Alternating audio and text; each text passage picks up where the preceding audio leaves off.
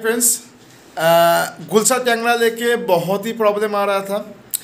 तो आ, video upload हो चुका है। तो फटाफट देख लीजिए। ठीक है?